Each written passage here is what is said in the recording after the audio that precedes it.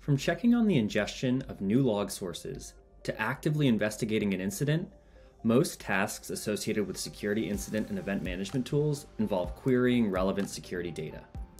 Therefore, it is incredibly important for security teams to be able to search their data quickly and effectively.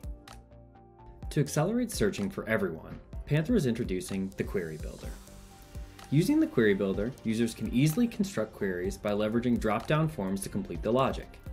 They can select a time range, the dataset they'd like to work with, in this case, let's use the Panther audit logs. And they can even add filters for more specific searches.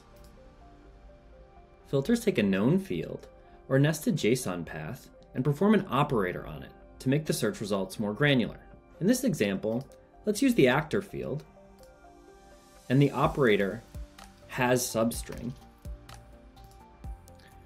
on the value Josh, an admin user in our organization.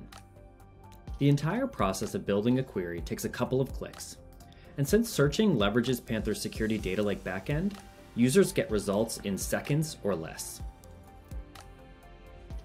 One important feature to highlight is the Copy as SQL button.